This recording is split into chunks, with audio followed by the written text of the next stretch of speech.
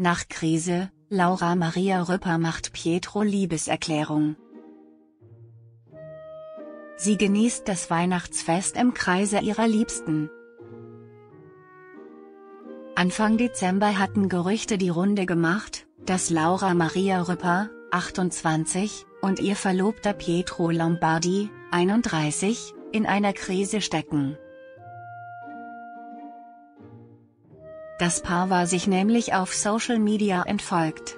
Zudem hatte die Content-Creatorin kryptische Zeilen im Netz gepostet.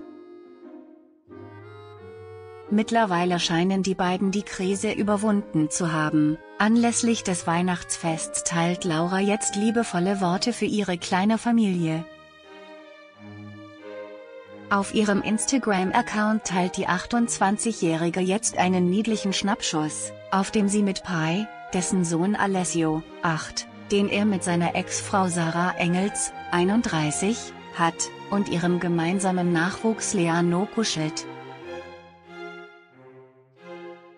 An solchen besonderen Tagen, merkt man immer mehr, wie wichtig eine Familie ist und dass man zusammen sein kann. Mein größtes Geschenk sitzt in meinem Herzen, wenn alle aus meiner Familie bei mir sind. In dem Moment werden alle anderen Dinge unwichtig.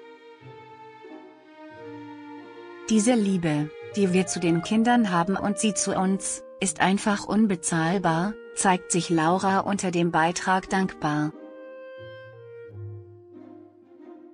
Trotz der vermeintlichen Krise halten Laura und Bei weiter an ihren Hochzeitsplänen fest.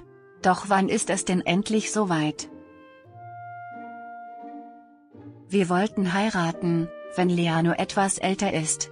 Damit er alles richtig miterleben kann, verriet die Beauty bereits auf der Social-Media-Plattform. Bis die Hochzeitsglocken läuten, kann es also noch ein wenig dauern, denn Leano noch nicht mal ein Jahr alt.